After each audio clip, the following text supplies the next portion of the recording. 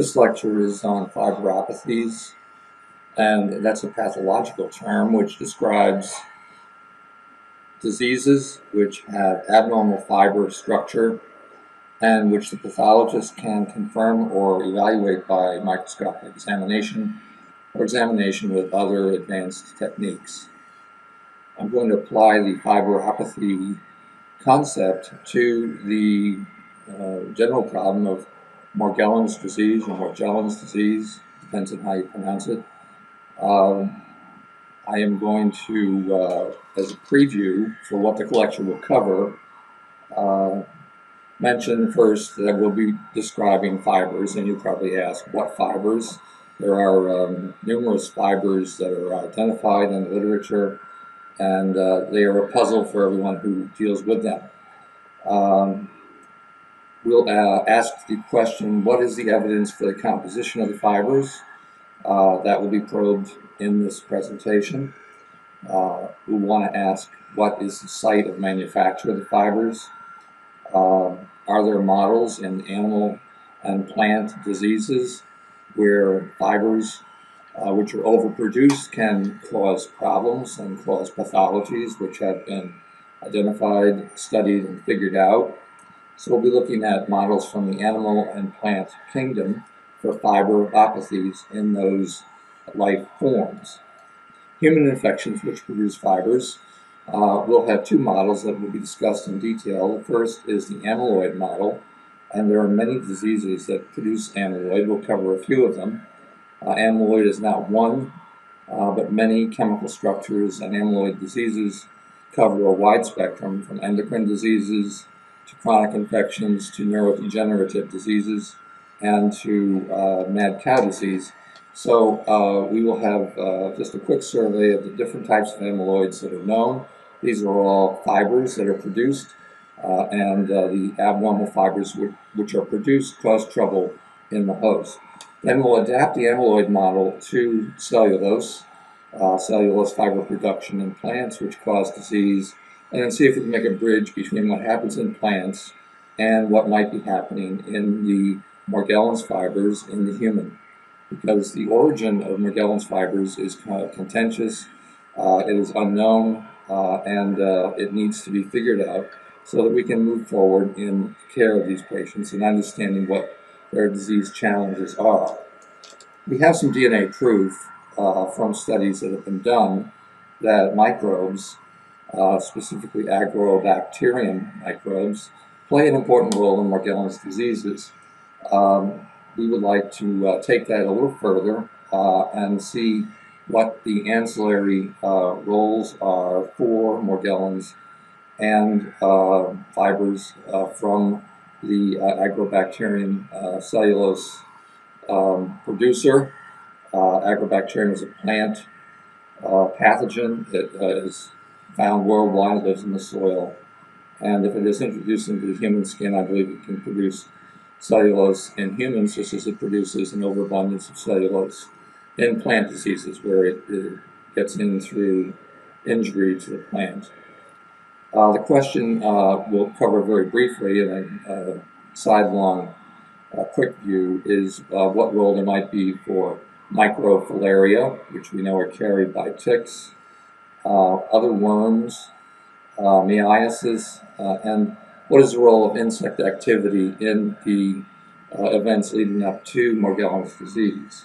And finally, briefly, we'll cover transfection, uh, which is a concept in which uh, DNA from one uh, life form is inserted into another life form, and uh, it is there permanently as long as the cell is alive. The DNA from the transfer uh, of DNA from one life form to another form, such as bacterial to human, or bacterial to plant transfection event, uh, how that uh, bridges uh, the um, uh, time between uh, entry of the bacterial pathogen into a living system and the production of disease or, or underlying diseases which contribute uh, to such an event.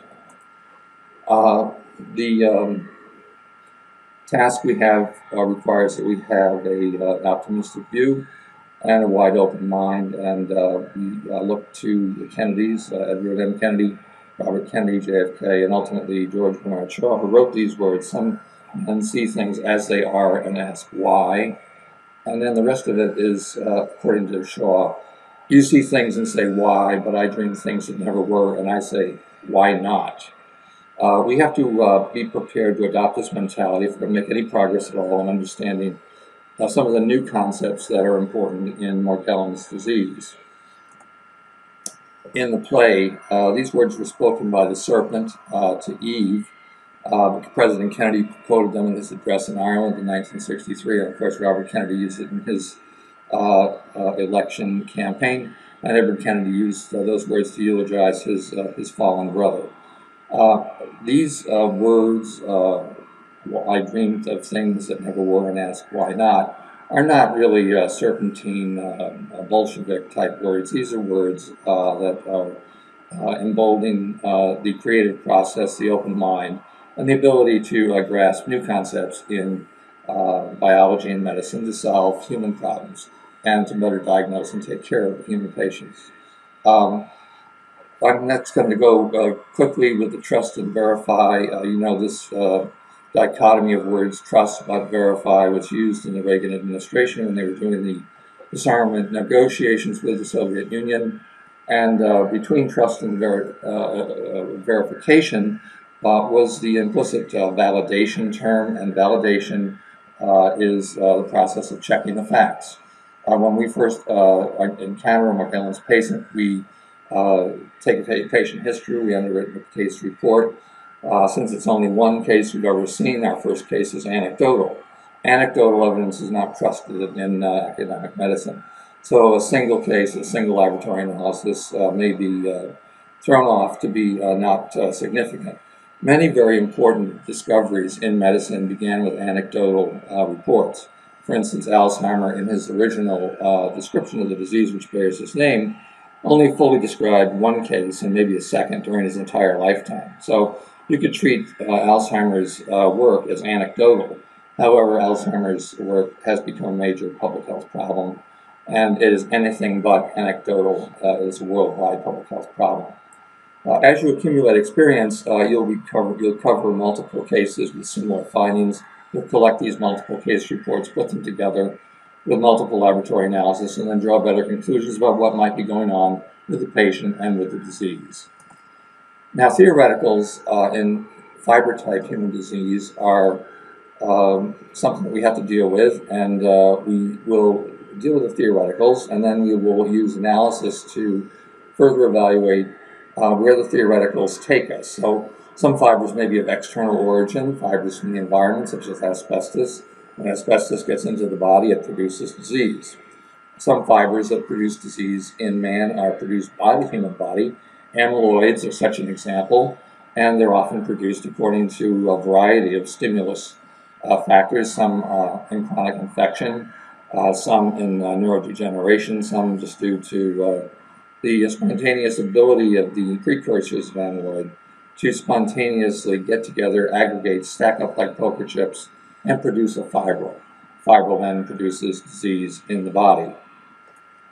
Morgellons is all about fibers. So uh, to the right of this slide, I've shown in color the political backslash uh, science uh, status in traffic light form with red and uh, green lights, uh, yellow lights, and uh, black boxes. so the first box category is properties of Morgellons fibers. This is contentious, and there are various reports with various opinions about what is in the Morgellons fibers. Are they hair? Are they uh, introduced by the patient uh, because the patient has a psychiatric illness and the patient introduces uh, man-made uh, synthetic fibers into the skin?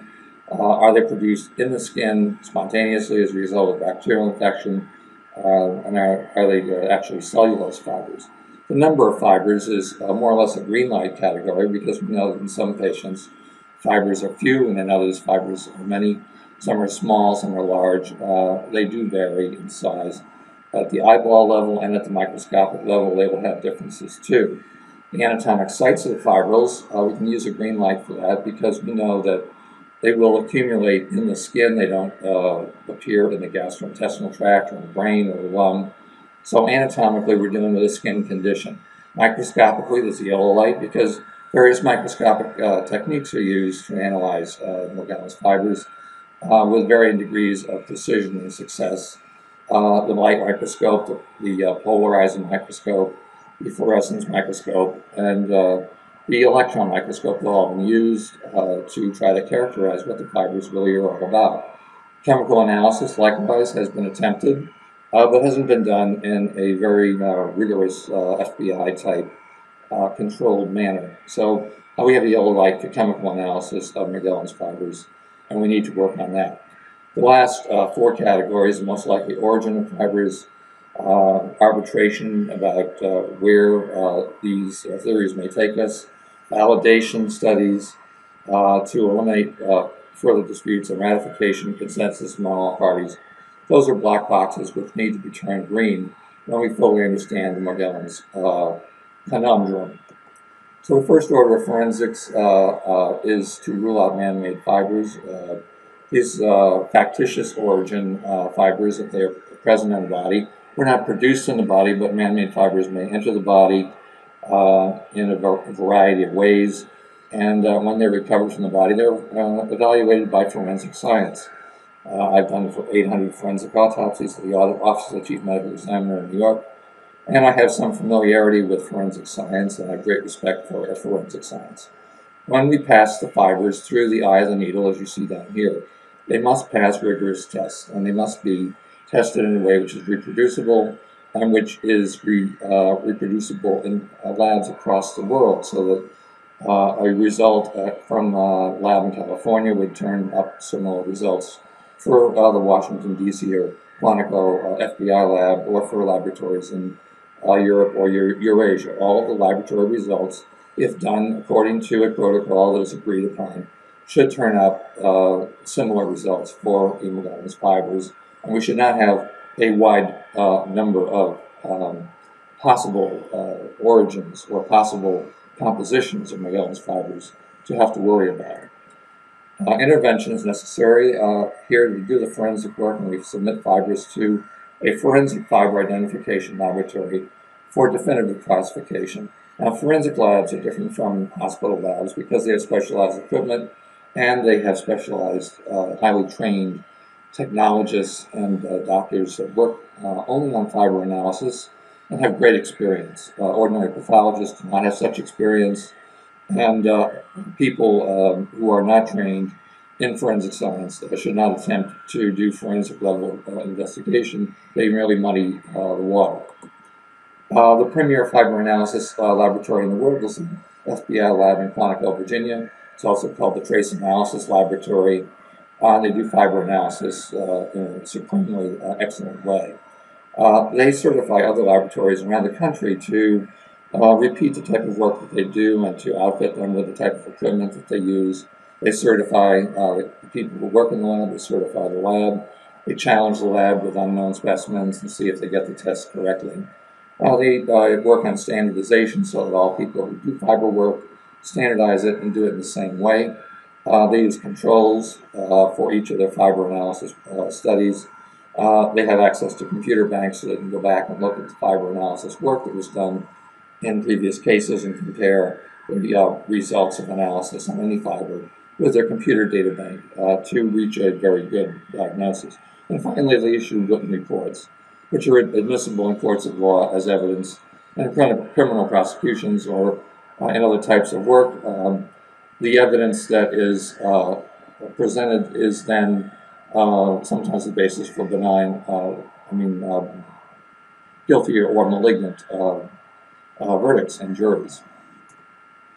Multiple fibers in a single specimen may influence conclusions about origins, which are unique to the patient body. Uh, so if we find that there are four or five different types of fibers within a body site. Uh, we do wonder uh, whether uh, the patient was exposed to a unique environment where all of those fibers would be simultaneously deposited, or whether over a lifetime the uh, patient was exposed by work or uh, by residence to multiple fiber types that wound up in the body and caused trouble.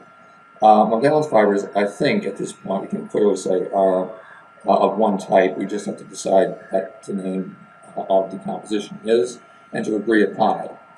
Fibers collected from um, the uh, crime scenes by police uh, undergo a chain of evidence, and that is that they are Uh, placed in special containers, uh, carefully labeled. the police wear gloves, and uh, each time the um, evidence is transferred from one police official to another, there is a sign, sign sheet and it's what called it's what is called a chain of evidence. So there's no opportunity to contaminate or to pollute uh, the evidence, which is the fiber, on its way to the laboratory. Chain of evidence is imperative, imperative and must be followed in uh, first-class fiber investigations to make sure that the fibers, uh, the fiber results that are reported by the lab reflect 100% the uh, fiber that was uh, found at the scene, either in the tissue of the patient, as we do with Morgellons, or at a crime scene where they find uh, rub fibers or hair fibers or other animal fibers uh, in connection with the crime scene. So chain of evidence is what we um, want to follow when we collect Morgellons fibers and then submit them to reference laboratory. Uh, trace analysis is done by the uh, Lab in Virginia by the FBI, as I said before, and other approved uh, national laboratories, state and government agencies, and private analytical laboratories FBI level certification after they have been trained and approved and tested and retested uh, and validated by the uh, central lab of the FBI at Quantico.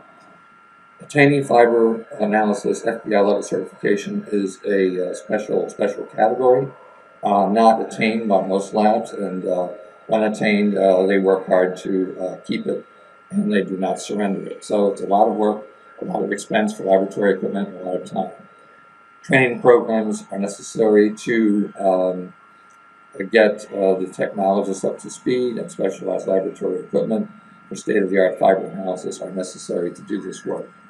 Online databases are uh, available through limited access of uh, computer data banks to uh, certified laboratories for storage of fiber-specific data sets, and then these are used to uh, connect uh, data for new fiber analysis cases and to reach a very good diagnosis.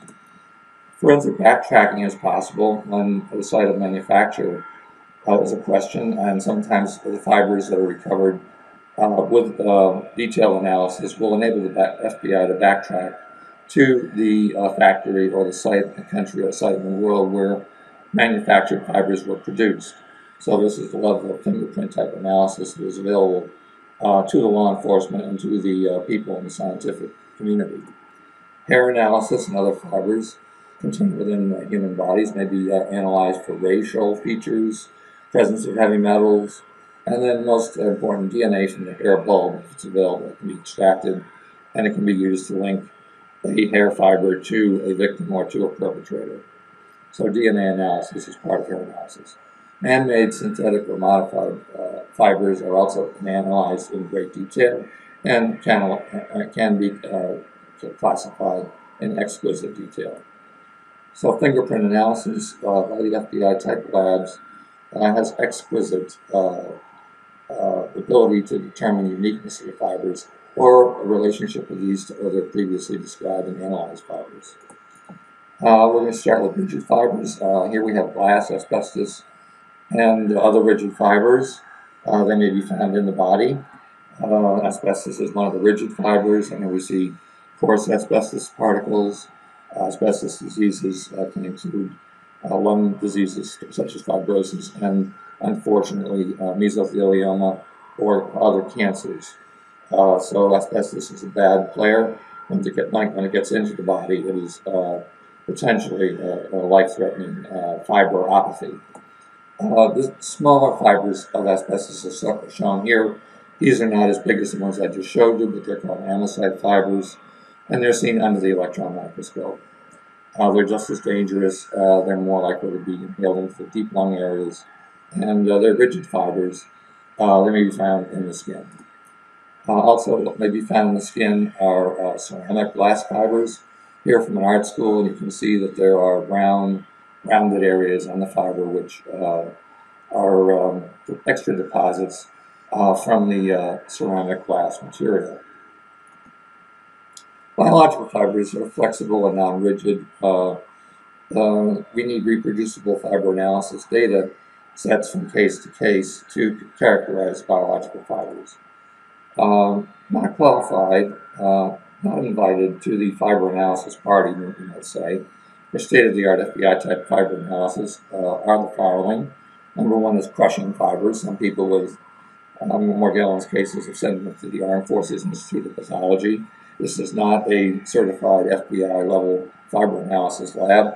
The, F, uh, the AFIP, Armed Forces Institute of Pathology, uh, tried crushing the fibers and doing some other investigations which are not state of the art, and uh, so their report really was not contributory to what the fibers might be or might not be. Other laboratories, such as high school labs, might try burning the fibers and see at what temperature the fibers melt or catch fire, or whether they don't burn at all, like asbestos would not burn at all.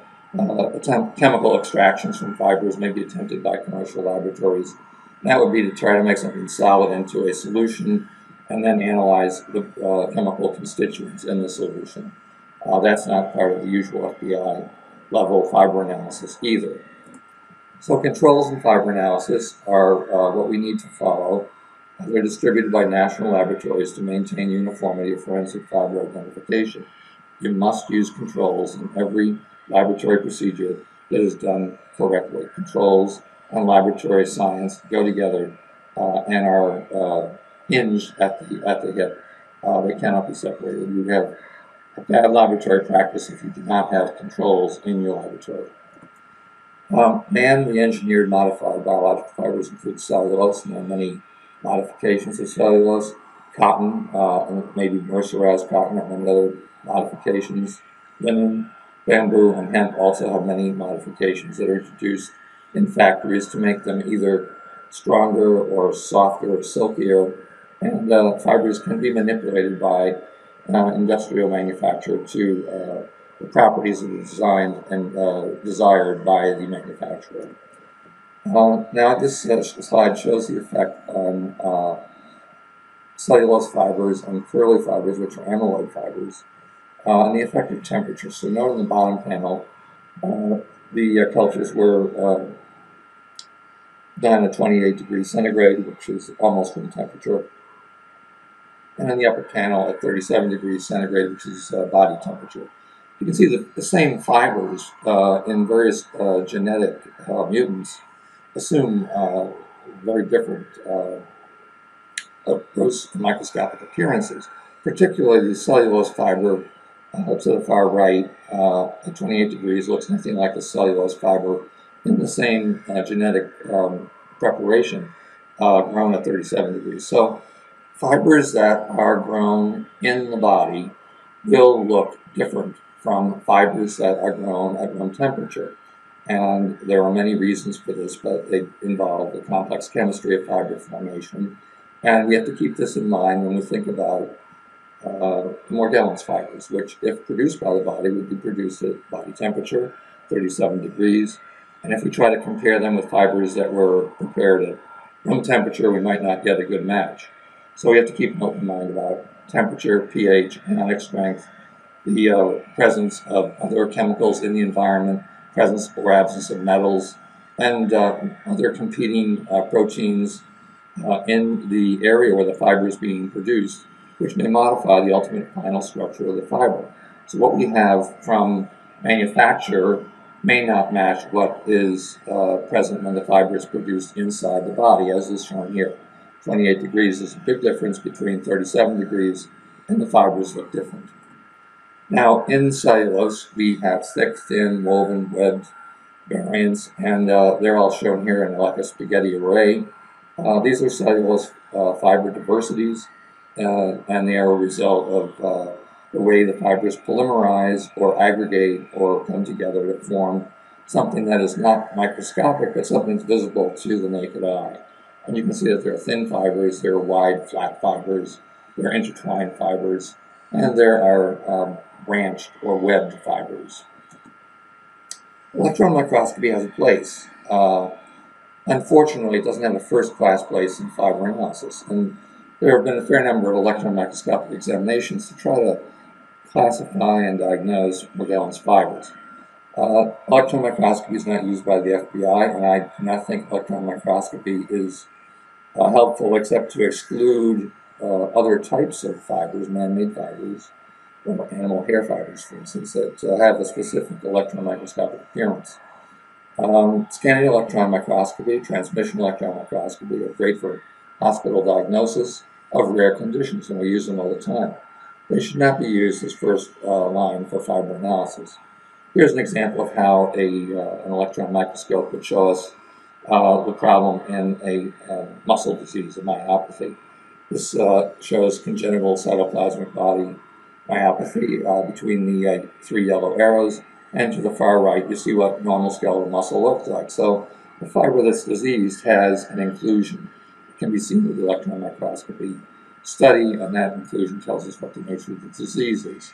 So it clinches the diagnosis of many obscure diseases. This is not helpful in Morgellons disease. Electron microscopy here for Nemaline myopathy, another muscle disease, shows red inclusions which are uh, present in muscle and which interfere with the sarcoplasmic uh, sarcomere uh, architecture and the ability of the muscles to work uh, to produce tension. Again, electron microscopy coming to the aid of a diagnosis of an obscure muscle disease. Morgellons disease need not apply. Uh, EM is not going to help us in Morgellons disease. Uh, here's another example of a muscle uh, fiberopathy, and that is the ragged red uh, muscle fibers, ragged red muscle fiber disease, and you can see the red uh, fibers in the uh, panel, which are surrounded by normal healthy muscle cells, which are gray to blue. Uh, straightforward diagnosis. One picture makes a diagnosis, and you're on to the next case. There are controls for this, uh, and there is a, uh, a, basis for making a diagnosis using the electron microscopy study in this muscle disease. Um, Morgellons disease need not apply uh, with electron microscopic validation or verification. Histochemistry has a place. So that's staining, special stains. It's in, in commercial labs, hospital labs, they use melanin stains, they use cytokeratin stains, uh, and they uh, determine a pattern by histochemistry of how the stains bind to the target. Uh, in amyloid, uh, Congo red stains, thioflavin stains, or even immunostains are done to further characterize the amyloid. So histochemistry has a place for uh, diagnosis of fibers, uh, keratin fibers, or amyloid fibers. Um, I'm not sure that histochemistry now has a place in Morgellons fibers. Uh, cytokeratins have both low molecular weight types and high molecular weight types, and there are reagents specific for low molecular weight that exclude high molecular weight and vice versa. So you can use cytochemistry to help you classify cytokeratins. If the fibers in Morgellons disease came from the hair apparatus, they would be cytokeratin positive because keratin is the stuff that makes hair. And uh, so we must uh, read about uh, what the study was uh, uh, revealing and uh, then factor in whether the fiber that was studied was a naturally produced hair or a diseased Morgellon fiber. They may coexist in the same specimen, and you may sample hair when you really want to sample the Morgellon fiber. So hair analysis has a place, and it may be attempted uh, from any lab, from high school to commercial labs. You can determine human hair versus non-human hair and uh, make a pretty good diagnosis if you're trained and you have re resources of the FBI uh, type laboratory. Uh, here's a uh, uh, cartoon of a hair uh, unit with a hair bulb, a hair follicle, uh, sebaceous glands, oil glands, the overlying skin, and the hair itself coming out through the skin. this is the normal architecture of human hair. Uh, also present, of course, are other glands. Sweat glands are important. There's fat, there's muscle. Uh, there's keratin uh, tissue, such as uh, what is in the skin overlying the epidermis. There's connective tissue, there's elastic fibers, uh, and there are fibroblasts. So many, many things to consider in skin. Within a hair, uh, it can be split finer and finer and finer. So moving from right to left, you can see the whole hair and then as you dissect out pieces smaller and smaller and smaller, you get to a right-handed alpha helix. Uh, later at your leisure, you can study this diagram and see how the different units interact and come together as components to form the normal mature human hair. Uh, we diagnose Morgellons disease with bulletproof certainty, diagnostic certainty at the bulletproof level. So uh, I call this the Kevlar model, and since I'm mentioning Kevlar, I might as well talk to you about what Kevlar looks like. Uh, it was um, newer, stronger fibers uh, accidentally discovered uh, in the laboratory accident. Uh, it's now used to, as you know, prepare bulletproof uh, materials for our troops. and I'll mention as a sidelight that spiderweb fibers are almost as strong or as strong as Kevlar fibers, but they are produced naturally. Uh, this is the Kevlar uh, product, uh, the bulletproof uh, armor, body armor pre prepared for our troops. And this is what they look like under the microscope. They're pretty homogeneous. Uh, they um, have a uh, uniformity to them. you don't see any subcompartments, wrinkles, twists, or bumps. they're very, very uniform.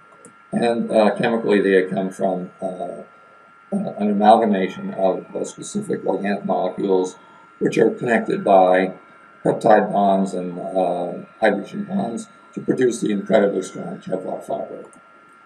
Uh, abnormal uh, biological fibers now will be uh, our topic, and amyloids will be first. Uh, there are many types of amyloids. We'll briefly talk about kinky hair disease. That's a single disease due to a genetic mutation. We'll talk about keloid fibers, which are a problem for people of color um, they all have different fiber properties and uh, they have uh, different uh, lessons to be learned. Amyloid is present in Alzheimer's plaques, and it's a type of amyloid called beta 42. Here you see the brown areas are amyloid areas within the brain. Those are the Alzheimer's plaques. And the areas not taking brown stain are brain tissue not um, damaged by amyloid plaques or Alzheimer's plaques. So it is a fiberopathy in the brain of an Alzheimer patient. The fiber is amyloid beta 42. And take a very uh, higher view, you'll see that each plaque has an amyloid core, uh, which is dead center like a bullseye, and then it has a ring of uh, brown uh, amyloid around the edge. And the amyloid uh, is in the process of, at the edge of the circle, uh, choking and surrounding and incorporating healthy brain cells as it moves outward from its central core. So it's a fiberopathy, amyloid disease, and Alzheimer's disease, a fiberopathy. Here is amyloid, uh, but it's uh, from bovine insulin. So insulin, under certain circumstances, can produce amyloid by uh, producing either round uh, bodies, uh, and then those bodies become uh, elongated, thread-like, or twisted bigger fibers, and uh, spherular formation is what's seen first, those little round circles, and then the longer fibers are found second. Uh, diabetics and other people with endocrine diseases may produce endocrine type amyloid, and uh, the reason for this is not clear, but uh, it is related to an imbalance of chemical production of the precursor substance, which then goes on to form amyloid amyloid chemically from the insulin that we see here is completely different biochemically, if you digest it down, from the amyloid which is produced in Alzheimer's disease. So they're different chemical entities, but they have the same name, and uh, that's a little confusing for people to get used to. Uh, one of the properties that we uh, learn from amyloid is that this fiberopathy uh, develops from little minute chemical uh, elements, which then self-associate or self-polymerize. And uh, as you move down uh, column B from the top to the bottom, you'll see that the purple uh, zigzags become stacked like poker chips, and they become elongated. So the amyloid fiber formation is a result of spontaneous aggregation, self-association of the chemical agents which produce the fiber. And there's no assembly line needed, there's no uh, machines. Uh, there are no uh, assembly line workers. The fibers produce um, by self-association or self-aggregation. This lesson in fiberopathies is extremely important. Uh, fibers that are able to produce diseases in plant and animal kingdom have this overall ability to form from nothing. They form from single units that attach to another unit that they find that matches them, and then they stack like poker chips, and eventually they become a fiber, which you can see. So self-association means that if you have a production uh, in a bacterium, for instance, and the bacterium is sending off small chemicals at its surface, over time these will stack together, and over a longer time they will form fibers that you can see with the naked eye. So bacteria can be the source of fiberopathies. This is another example of how amyloid form, forms poker chips.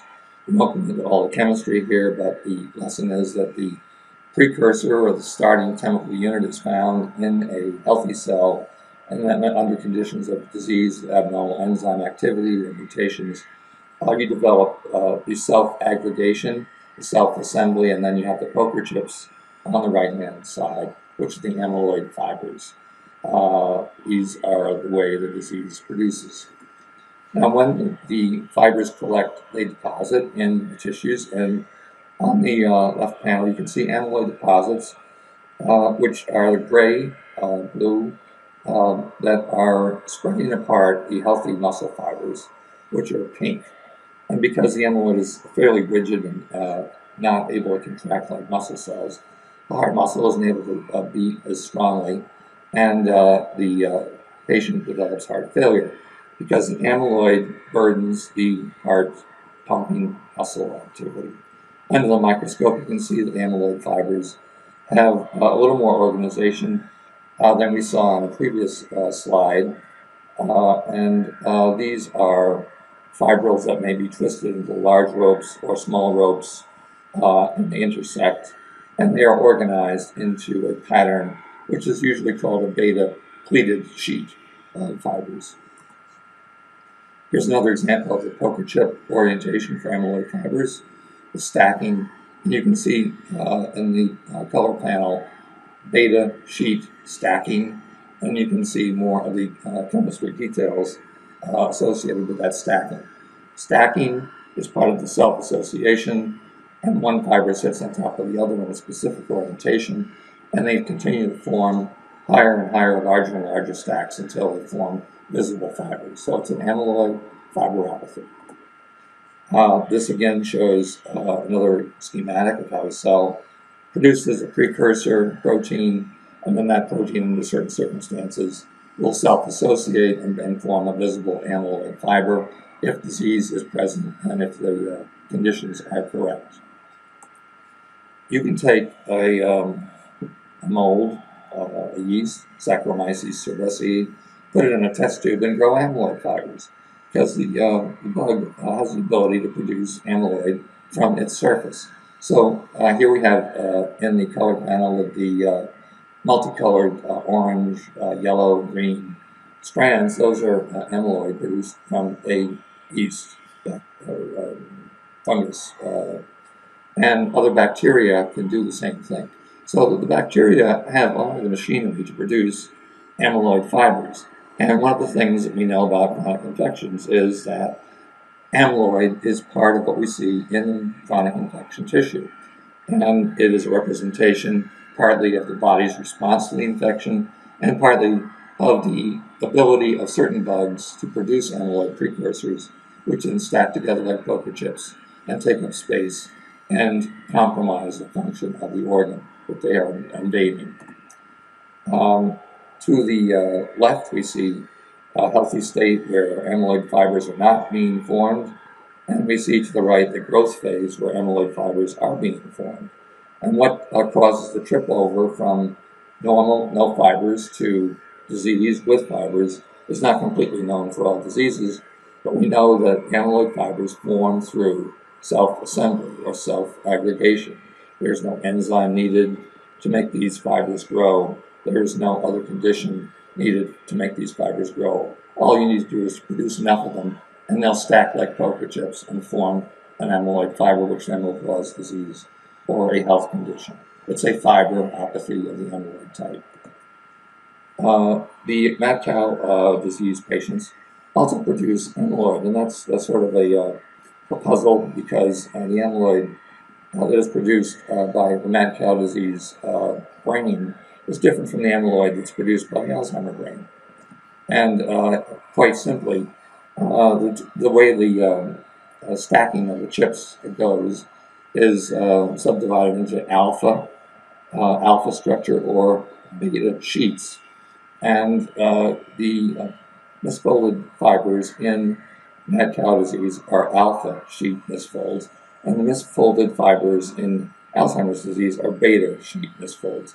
Infection is beta sheet misfolds. So alpha sheet misfolds may be more toxic uh, to the body than beta sheet misfolds are. We don't know for sure, but they are different, and they're different because the chemistry is different.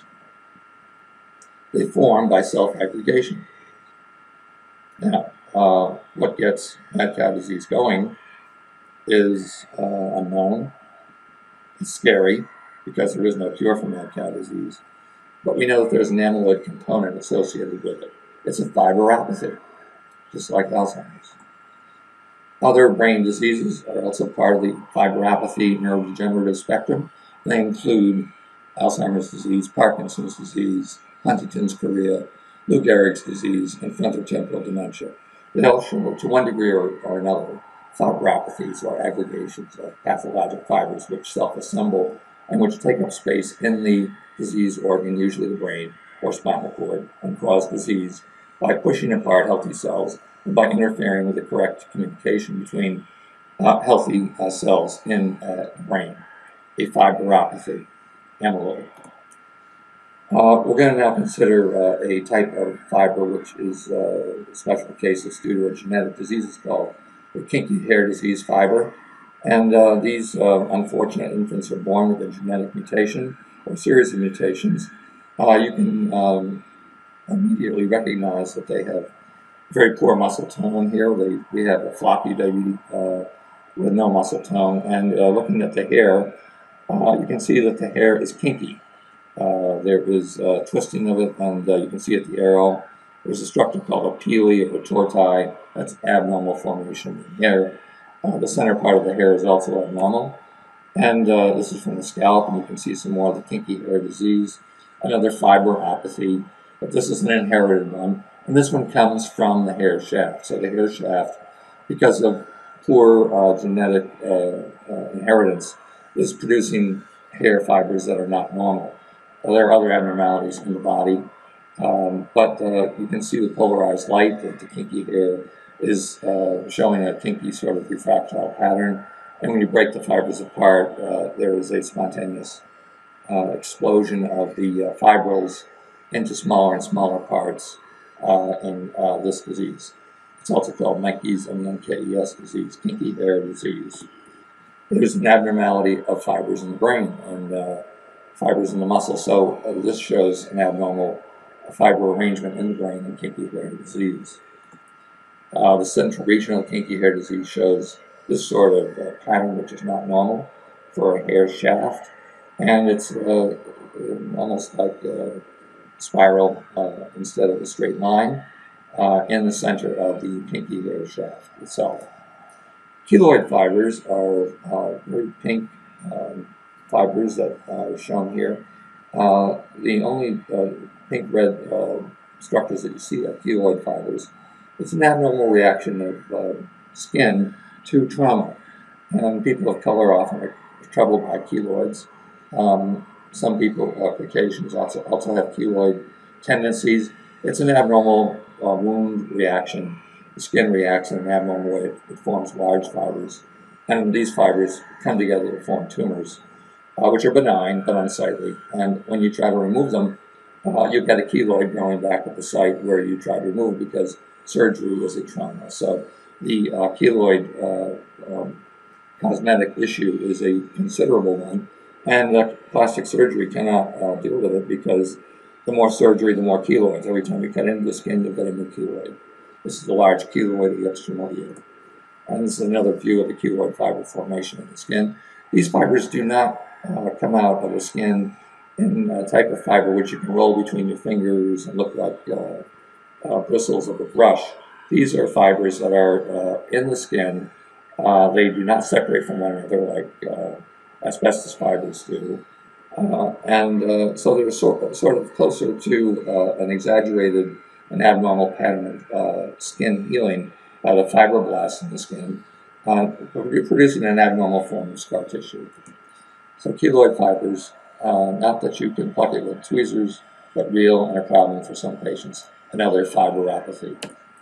Animal diseases with abnormal biological fibers are investigated in veterinary academic research labs and uh, mange is uh, what we're going to be looking at now. Mange is uh, a question, is it a fiberopathy or is it something else?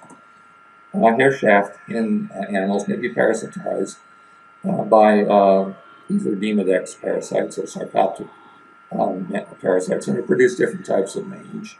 Uh, Demodex is a parasite that goes for the sebaceous glands, and the sarcoptic mange goes for other parts of the hair shaft.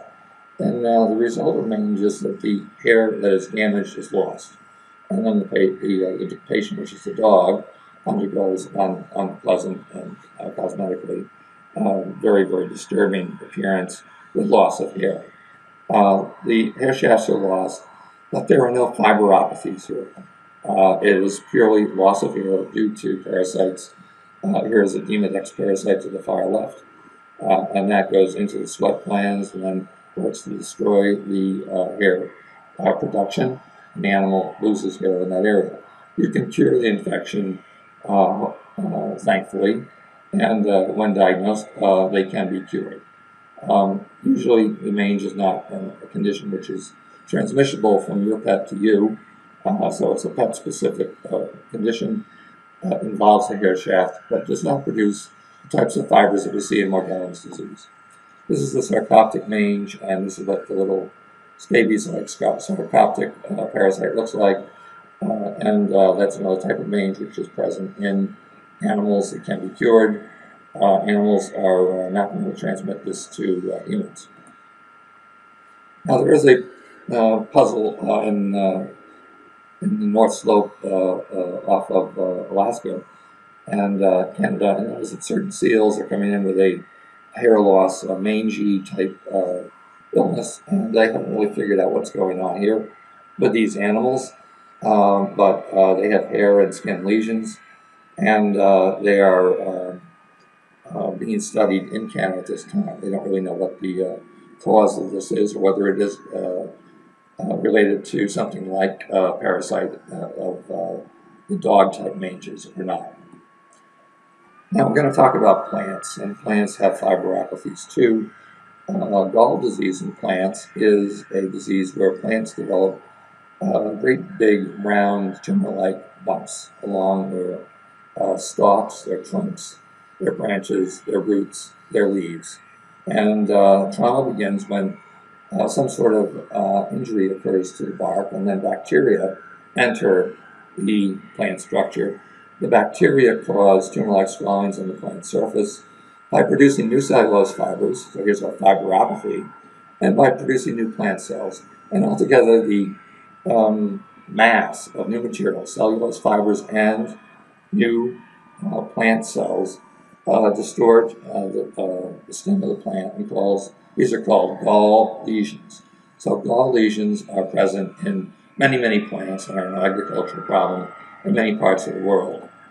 Terrestrial plants with abnormal uh, fibers are studied in uh, botany labs. Here's an example of agrobacterium causing a uh, gall lesion in a plant. You can see how unsightly it is. This is all due to overproduction of cellulose fibers by the bacteria that invaded the plant. So by pruning the plant or by injuring the plant or insects chewing away at the bark, the bacteria gain access. Bacteria present in the soil, Agrobacterium is present everywhere. Once it gets inside the plant, it starts making its fiber, which is cellulose, and then the cellulose causes these big bumps. So this is called the agrobacterium in the plant. Uh, this is a second type of injury. Uh, an insect may uh, chew into the uh, bark of the plant and bring along with it the agrobacterium, and then it can cause same sort of unsightly, uh, large tumor-like swelling a very large example from a tree in Australia uh, caused by agrobacterium in a tree trunk. Uh, this is Austria, I'm sorry, not Australia. So gall, due to agrobacterium, is then a manifestation of overproduction of fibers. These are cellulose fibers. And the bacteria produces the cellulose fiber on its surface. And then overproduction of uh, plant cells in reaction to the infection, causing this great big swelling and distortion of the branch of the plant. Sometimes there's an insect that's uh, in, in the center of the gall lesion. They cut it in half. They'll find the larvae of a wasp or some other insect. So the insect burrowed into the plant, and as it burrowed along, it carried along the bacteria that caused the overproduction of the cellulose fibers, overproduction of the plant cells, and uh, the insect waits to mature and then it breaks out of the gall lesion and goes on to a mature form. So insects may produce this. This is the key point. Insects injuring the surface of a living form bring along agrobacterium with them. The agrobacterium, once it gets inside the living organism, uh, thanks to the action of the insect, then produces cellulose fibers. Cellulose fibers produce a mass or produce fibers that are uh, unfavorable for the plant, plant health. There are oceanic diseases uh, which have a similar uh, gall type uh, situation, and these are these are called marine galls. And this is one that uh, involves algae. So you see the bumpy nature of the gall lesion in the algae. So um, oceanic uh, organisms are present that, like agrobacterium tumefaciens on land, can produce gall lesions in algae. Now, fibers in Morgellons disease, a healing condition, um, are associated with hair loss and with a fiberopathy. The fibers we all know about, we see them, we hear about them. They have different colors, they are present in sometimes just a scant number, sometimes they're present in a large number. Um, they might be thought of as a fur ball of the skin, but they're not a fur ball because they were produced in the skin of the patient by some process which we haven't really completely characterized or agreed upon. But the process is agreed upon that agrobacterium DNA is present in the areas where Morgellons fibers are produced. Now, we've already learned that agrobacterium can produce collagen by itself, and therefore it's plausible to think that the agrobacterium can produce little bits of collagen fibrils, which then, by spontaneous aggregation, combine to get bigger and bigger fibrils, which then become the strands that we see with the naked eye or under dermoscopy. Uh, this is uh, some of the morphology of the Morgellons fibers. They don't all look the same. And remember, fibers that are produced under different chemical situations, different pHs, different temperatures, will have different shapes, different morphologies, different configurations. That's because the stacking process is altered by the environment in which the stacking occurs. So if you have a little more acid in the environment, the fibers that are produced from the bacteria will look different from uh, fibers produced in a basic environment. Uh, this is what the skin lesions look like, and uh, they're unpleasant. Uh, they're uh, sometimes clustered, sometimes confluent, uh, and they are um, in larger lesions the site of fibers such as this, which under polarized light examination show different colors. Uh, the polarized light is interesting for photographic purposes. Uh, it doesn't tell us a bit about what the composition is. It does not have FBI level certification for fiber analysis. It's a crude example of how we use a microscope to look at fibers. And uh, here we have a side by side a black fiber and then some clear fibers and black fibers. And uh, these are then uh, heterogeneous types of Morgellon fibers. Here the fibers are all black, but they're some are thick, some are thin. Uh, they're in a uh, uh, tangle, and uh, at the top there's a hair shaft for comparison. So they may be smaller than a hair shaft. They may be larger than a hair shaft, as you can see from the diameters in the black area at uh, the left of the image. they may have twists and turns. They may have things that look sort of like hair bulbs, but really aren't, because they don't have DNA in them. Hair bulbs have DNA. And uh, even more twisted and more convoluted are uh, these Morgellon fibers, uh, which are a little bumpy, some twisted, some turned, they look flat. And uh, they have overall properties which to me suggest that they are cellulose uh, polymers that have been subjected to aggregation under slightly different conditions from area to area in the skin, and that's why they look different. They're not all the same, they're not all cookie cutters. Cellulose fibers produced in nature, where the conditions are stable, all look very, very similar. And if you digest down and down and down, you'll see that cellulose is actually chains of glucose molecules. And those glucose molecules then are connected end to end. They form little fibrils, and then fibrils can become microfiber, and then they become a macrofiber, and then they become type of fiber you see at the far left, which is yellow and flat and uh, fairly uniform. Uh, the plant fibers are produced under conditions where the pH and the uh, other uh, environment uh, is pretty much controlled and uh, is not subject to variation. It's also produced at room temperature, which is or below. you know, plants do not have a 37 degree temperature.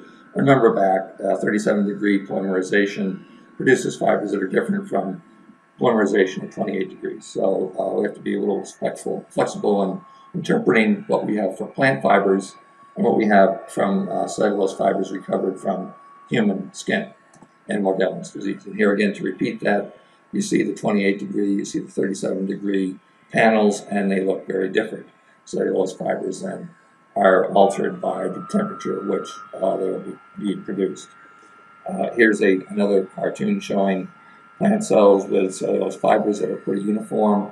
And uh, you see the glucose uh, subunits uh, down at uh, 6 o'clock. They're all strung together to make the microfibrils, and then those cellulose become strands that become bigger and bigger and become an actual fiber you can see and hold in your hand. Now, a national repository of Morgellons fibers and a fiber bank would be a great thing for in society to undertake so that uh, fibers from patients in different parts of the country and from around the world could be collected in one central repository and then how they could be analyzed and compared and contrasted. And I recommend that uh, that be considered for a future study. Uh, advanced analysis could then be done uh, using uh, pooled resources on something like this vitrification apparatus, which is a really high-tech machine, would be able to give you a very, very sophisticated fiber analysis readouts on the Morgellons fibers from the uh, fiber bank material. Um, it's a research opportunity, and central repositories for Morgellons fibers, I think, are a great idea. Uh, we have central banks for diseases like Alzheimer's disease and multiple sclerosis and Lou Gehrig's disease, where patient material is deposited in a central repository, and then researchers can uh, access that material and make uh, uh, research investigations based on uh, collection of material from different sources and different patients.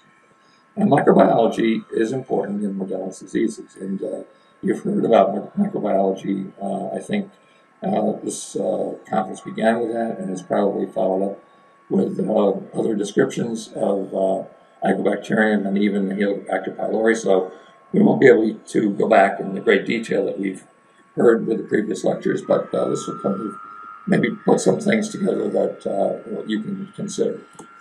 Agrobacterium is gram-negative modal. It's a soil bacteria that's always present in Morgellons disease. I'll repeat that. Agrobacterium is always present in Morgellons disease. It's a soil bacterium. Now, sometimes it's there for a while. It uses its DNA, transfers its DNA, and then the, the bacterium is lost or killed or died off but the DNA persists, the DNA stays around. So by doing PCR studies, you can always find that these are um, DNA positive for Agrobacterium in Morgellons disease. Always, always, always. Uh, it is a family of microbes, and uh, we think of um, three uh, subgroups. There's the tumefaciens, which has now been renamed Rhizobium, uh, Rhizobium radiobacter or Agrobacter Radiobacter. Uh, it depends on the Latin name that you prefer, but the general category is uh, is one um, microbe. It has uh, some uh, related microbes that uh, tend to uh, attack the roots. that's the Agrobacterium rhizogenes, produces a disease called hairy root disease, or Ceratoli, uh, uh, which produces olive knot disease. These are uh, gall-like diseases involving roots or of uh, uh, plants. Other pathogens include Helicobacter.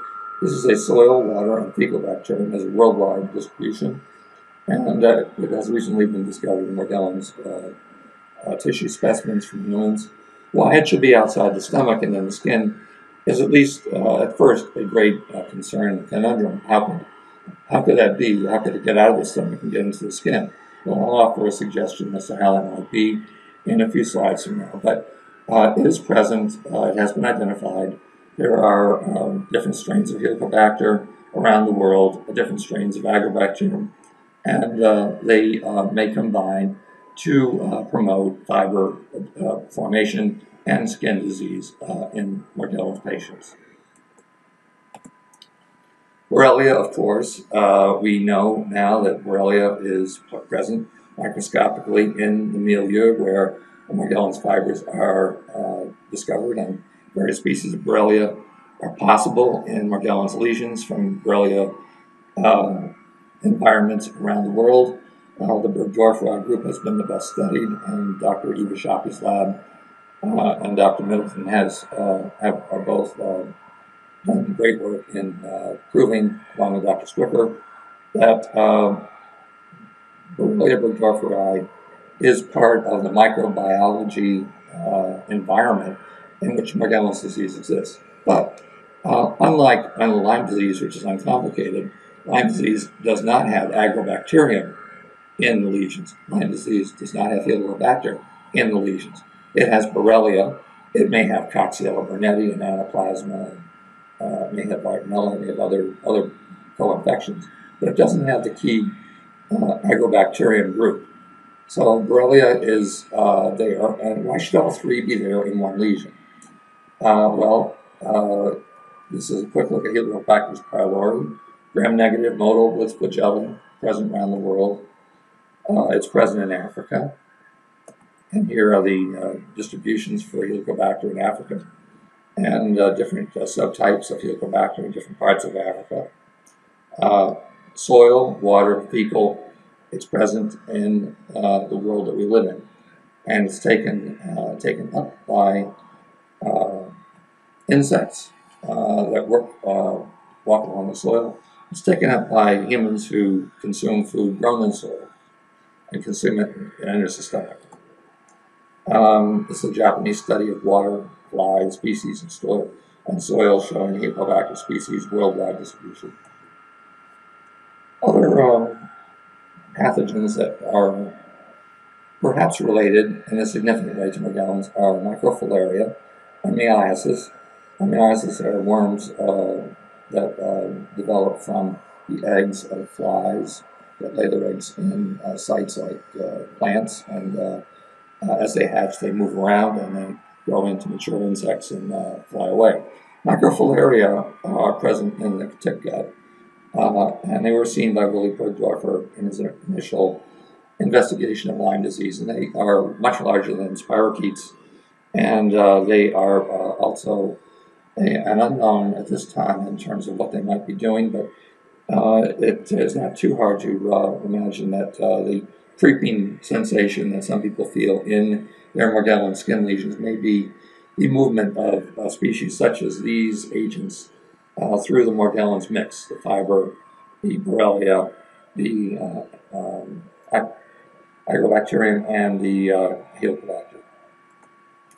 So we don't know, but we uh, do have a description from Dr. Burgdorfer uh, here uh, from the original Shelter Island study of microfilaria of exceptional size from the Nixoid tick. And uh, as he was looking at the microfilaria, he saw out of the corner of his eye the Borrelia spirochetes, which are much, much smaller, didn't sting nearly as well. And he made his brilliant discovery of the cause of Lyme disease from the tick gut. So we have polymicrobial infection scenarios in Morgellons disease, just like we have polymicrobial infection scenarios in Lyme disease. And we have to try to put these things together. Uh, now, Neil deGrasse Tyson tells us that science is always true, whether you believe it or not. And I believe that Dr. Tyson is right on here. Uh, sometimes it takes a while for the world to catch up with science. And there are a lot of disbelievers when science first comes up with a truth. Um, and uh, then, after a couple of generations, uh, everyone says, well, that's immediately obvious. Why did you even doubt it in the first place?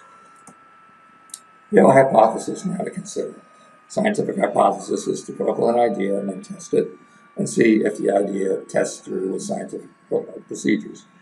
This is a pro proposal for linking ticks, bacteria, molecular biology, nanofiber formations, and self-assembly in the macrofibers in Morgellons diseases. So we start with a tick. The tick carries bacteria. Bacteria then uh, produce a molecular biology environment, which then re results in fibers that become bigger and bigger and bigger. They self-assemble into macrofibers, and you wind up with Morgellons disease. Tick injures the skin. Tick carries bacteria into the skin, injects them into the skin, and then the molecular events take over, and you wind up with a fiber disease. So, the bacterium necessary and uh, we know that uh, it is a plant fiberopathy. It, uh, I think, has potential to do the same thing in humans that it does in plants, and that is to make cellulose, and to make cellulose in amounts that can self-polymerize into fibers, and then those fibers become the fibers that you see in Morgellons disease. So where agrobacterium is, or was, cellulose is going to be chemically produced and the agrobacterium then has to get into the skin. How does it do that? Well, hurdle number one, how does it get into the human dermis epidermis? Well, we propose that the tick bite provides a portal of entry for agrobacterium as well as Borrelia, Helicobacter, microfilariae, and other co-infections. We know tick bites can produce more than one infection, so tick bites can produce babesiosis and borreliosis, or anaplasmosis or ehrlichiosis and borreliosis. So poly-infections and tick bites go together. Now, those are all carried inside the body of the tick. Agrobacterium, I propose, is carried outside the body of the tick. And as the tick harpoon goes through the skin, the bacteria on the outside of the tick gain access to the skin and start to cause trouble. This is also the way Helicobacter get in, I think the Agrobacter attaches to the outside of the tick. And then as it goes through, the Agrobacterium and the Helicobacter are transmitted into the skin and cause trouble. So here uh, to the left is a dirty tick mouth, and the dirty tick mouth has Helicobacter pylori and Agrobacterium attached to the outside of it. And we have to the right a clean tick mouth. Uh, there's no such thing, I believe, as a clean tick mouth. So uh, I think all tick mouths are dirty ticks uh, crawl around, on the ground, agrobacterium, and uh, helicobacter, ground bacteria, fecal bacteria present all over the world. There's no reason why the tick could not be the mechanism for getting these into the skin. Hurdle number two, how does a bacterium injected survive and produce cellulose fibers? Well, agrobacterium here is producing cellulose fibers right now as it is attached, attached to a carrot. And the little uh, purple arrows show the cellulose fibers and the uh, larger tubular things are the agrobacterium uh, producing the cellulose fibers. Cellulose fibers produce a mesh that holds the bacteria together, and uh, as the fibers are produced in a higher and higher amount, they self-associate and they form the fibrils that you can then see with your naked eye. So that's how I think cellulose fibers are produced uh, in human skin by agrobacterium infection. Cellulose fibers self-assembly to transmitted agrobacterium into the skin, and then the agrobacterium biology takes over. Hurdle number three, prove to me that the DNA of the agrobacterium stays around in the disease Morgellons altered skin. Well, this a PCR study, more than one I'm sure, but one that by people that I trust, uh, and I'll show you the pictures soon. Amplified agrobacterium DNA consistently from Morgellons lesions the actual intact bacterium need not to be present because the DNA which it transfers to the target cell can remain in the target cell after the bacterium has died or been removed. So the DNA persists after the bug which had it and brought it in may be dead or gone. Uh, hurdle number four, show me a model where agrobacterium produces naked cellulose fibers in living systems without the assistance of additional cellular machinery. Well, we've already we've already discussed that. That's the self-assembly fiberopathy precursor thing, and it covers both cellulose precursors and amyloid precursors. And I'm sure that other chemicals have self-assembly capability. The whole uh, disease of uh, cow disease is a misfolded protein disease and self-assembly of these misfolded proteins into dangerous units which cause cell injury and death. Here we have the self-assembly fiberopathy precursors again, agrobacterium on the left, and E. coli with curli fibers of the amyloid type on the right. The fibers come off the surface of the bacteria. If you make enough of them, they produce bigger and bigger fibrils. And then, then at some point in time, they're deposited in tissue and they cause real disease by taking up space, which shouldn't be taken up uh, by a healthy tissue. Self-assembly of fiberopathy precursors, then agrobacterium, cellulose, E. coli type bacteria, amyloid curli fibers. They undergo self-assembly into larger and larger fiber units. Show me the actual material, machinery by which microbial cells can produce fibers, which are visible to the human eye without magnification. Well, cellulose fiber self-assembly, amyloid fiber self-assembly, that's the machinery. And I've shown you the pictures already. Uh, so agrobacterium, uh, in order to have this carry the day, uh, the fibers in Morgellons must be cellulose as a major constituent, or cellulose only. Now, I'm willing to allow cellulose plus something else to so to co-polymerize and to form the fibers of Morgellons. But cellulose has to be a part of those fibers. And cellulose is not produced by any normal healthy human tissue unless that tissue is acted on by agrobacterial infection. And then the genes for cellulose production is uh, produced uh, uh, from the agrobacterium DNA. And we can thank Dr. Citovsky at Stony Brook for that important work and for the work of transfection, which we'll study at the end of this uh, lecture. Here he is. Uh, thank you, Dr. Citovsky, very much. And thank you, Dr. Middelveen, Dr. Mayne, Dr. Stricker, very much for your work and putting up with a lot of uh, angry correspondence from people who don't believe your good work and don't believe the concept of the Morgellons disease. Um, Morgellons fibers contain no human DNA. There's no hair bulb DNA uh, equivalent. Uh, that is what I believe. This hypothesis removes the pilar hair unit from further guilt in Morgellons disease.